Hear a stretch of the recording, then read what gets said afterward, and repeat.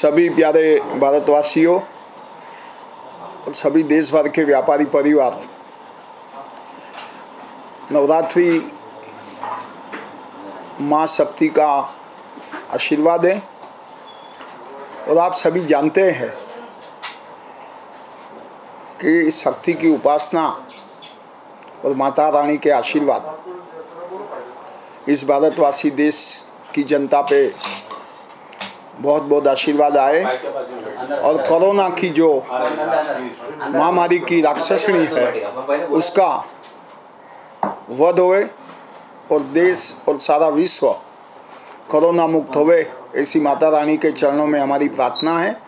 और आप सभी को नवरात्रि की बहुत बहुत शुभकामनाएँ। सभी प्यारे देशवासियों से आह्वान है कि हमें कोरोना से संरक्षण लेने के लिए मास्क सैनिटाइज हाथ धोना, ये बहुत आवश्यक है।